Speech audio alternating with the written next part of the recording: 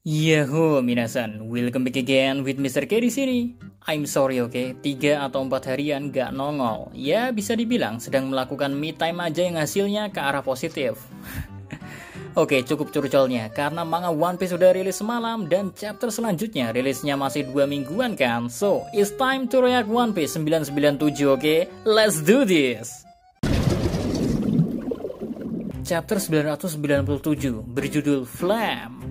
Hmm, cover judul sesuai dengan spoiler kemarin diisi oleh cover request yang menggambarkan Sanji sedang latihan meditasi tapi digebukin oleh Tanuki dengan Santoryu pedang bambu.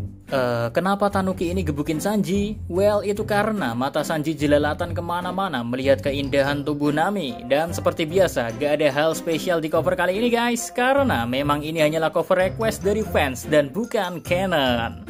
Oke, sekarang ke menu utama. Melanjutkan kekagetan Sanji di chapter sebelumnya akan ekspresi yang membuat bingung banyak fans. Kini, di chapter kali ini ya, ekspresi Sanji tersebut terbongkar kalau itu bukanlah ekspresi ketakutan. Melainkan ekspresi rasa penasaran dan takut kalau ada seorang wanita yang sedang dalam bahaya karena kimononya akan segera dilepas oleh orang jahat. Nah, dalam pikiran Sanji, dia ingin mengabadikan momen ini tapi juga ingin menolong sang wanita karena takutnya setelah kimononya terlepas, sang wanita akan kehilangan jati dirinya. Hmm, jika kalian masih polos, pasti gak akan paham komedi yang ada pada ucapan jokes dewasa yang diomongkan Sanji kan? But tenang saja, Mr. K baik hati kok. Jadi akan kujelaskan secara simple apa yang dimaksud Sanji kalau seorang wanita yang didengarnya akan kehilangan jati dirinya kalau pakaian kimononya terlucuti. Well, simpelnya adalah wanita emang awalnya gak mau gak mau, tapi kalau udah lepas semua benang yang nempel di tubuhnya dengan diberi sedikit paksaan, akhirnya bakal pasrah juga kok. Jangan membayangkan yang tidak-tidak ya.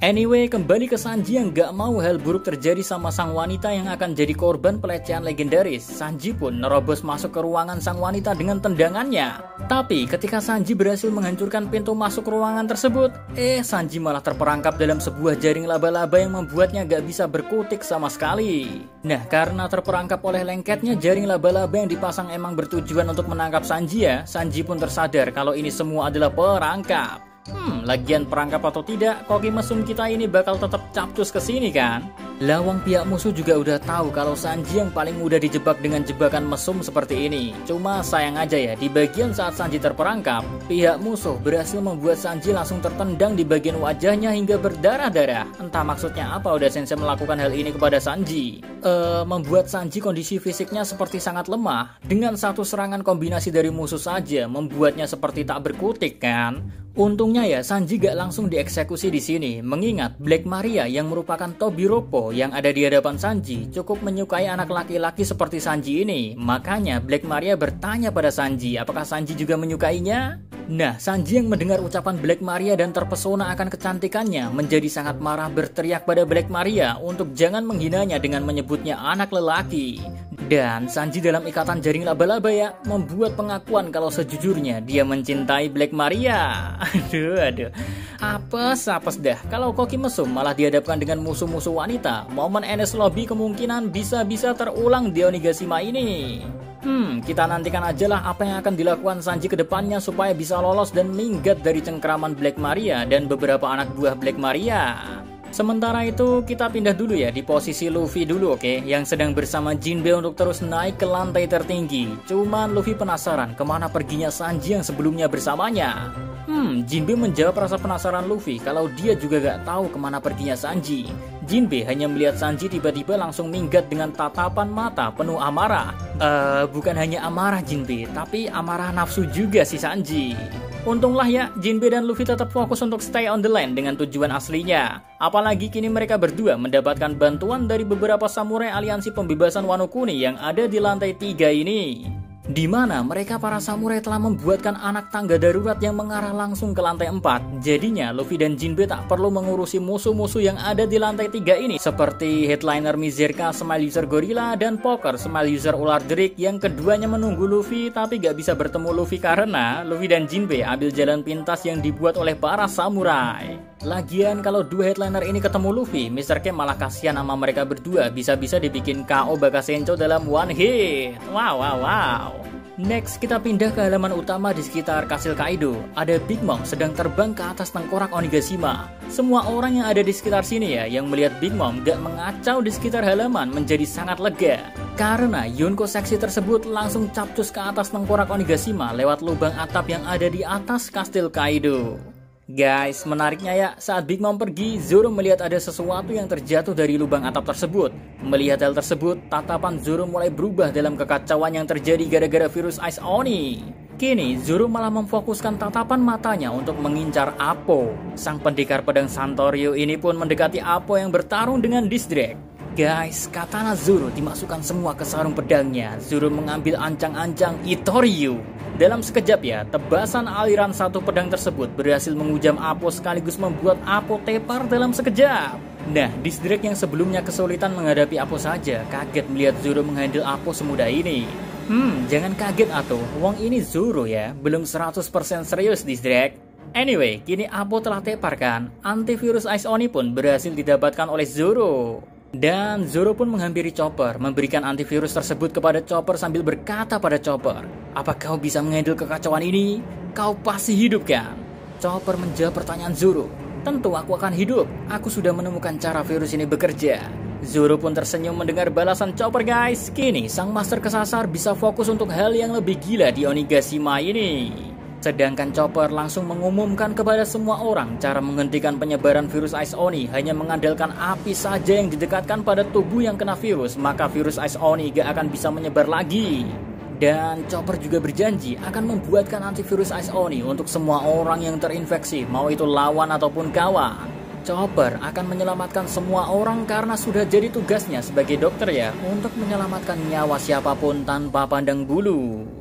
Oh, Queen yang mendengar dan melihat kelakuan Chopper jadi jengkel guys. Nih All-Star gendut mengarahkan mesin gunnya ke arah Chopper agar bisa membungkam Chopper. Tapi sesaat mau diarahkan ya, tiba-tiba saja mesin gun Queen terbelah menjadi dua. Usut punya usut, yang membelahnya adalah Zoro dengan tebasan jarak jauhnya. Zoro membuat senjata berharga Queen tak bisa dipakai lagi guys. Sekaligus Zoro juga berteriak lantang kepada Queen. Game bodoh apa ini? Aku tidak datang ke pulau ini untuk menghabiskan waktu dengan banyak omong kosong. Mereka bilang Kaido adalah orang terkuat di dunia kan? Jadi aku di sini untuk memotong-motong Kaido jadi potongan-potongan kecil. Wow, Queen mendengar ucapan Zoro cukup kaget. Apalagi kini setelah Zoro berucap seperti itu, ada gempa yang membuat situasi semakin kacau. Pihak musuh banyak yang salah paham kalau gempa ini gara-gara emosi Zoro. Brook pun juga salah paham mengira Zoro telah mengeluarkan haki raja yang bisa membuat gempa ini. Cuma Zoro menjawab Brook kalau bukan dia yang melakukan semua ini. Jawaban yang cukup membuat para fans yakin kan kalau Zoro sebenarnya punya haki raja. Kenapa bisa begitu? Well, itu karena dia agak menjawab rasa penasaran Brook dengan bilang, aku tak bisa melakukan hal tersebut. Dia hanya menjawab, bukan aku yang melakukannya. Jadi gak sabar ya melihat Zoro membuktikan dirinya apakah punya haki raja seperti yang selama ini kita kira? Or entahlah. Anyway, di momen ini, berkat Nico Robin, kita jadi tahu kalau kemarahan Zoro itu gara-gara dia melihat lengan Kiku yang terjatuh dari langit.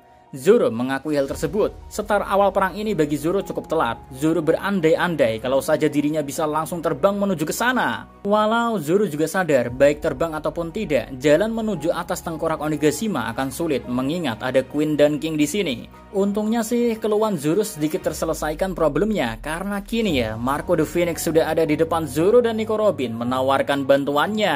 Hmm, bantuan yang datang di momen yang sangat tepat karena keadaan memang sudah kacau balau, perang di mana-mana, gempa bumi dahsyat yang dirasakan hampir seluruh orang di Onigashima.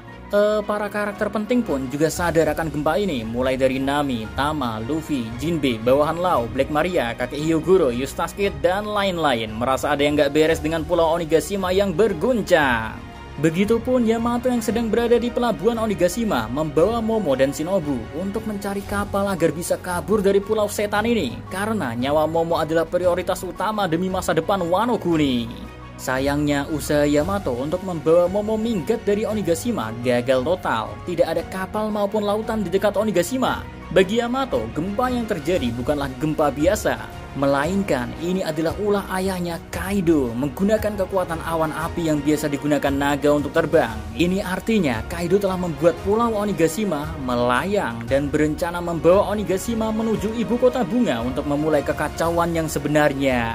Wow, guys, momen setelah kita melihat kekhawatiran Yamato dan melihat Onigashima melayang, kita diperlihatkan Kaido yang masih berdiri sendiri di atas tengkorak Onigashima. Kita tak menjumpai para Akazaya sama sekali, hanya Kaido yang berdiri sendiri, mengklaim kalau Kozuki telah berakhir, Wano akan menjadi New Onigashima. Ah, sebuah pulau yang akan jadi markas bajak laut sekaligus Kaido akan memperlihatkan kejamnya dunia yang sebenarnya di hadapan semua orang. Oh, seru nih. Tapi sayangnya, momen keseruan ini untuk lanjutannya harus menunggu dua minggu lagi. Desember mendekati pertengahan pula. Aduh, aduh. So, see you again next time. Adios di Caramelo. Stay safe everyone. Tenang saja, bakal ada ngalor ngidul kok. Salam, Animania.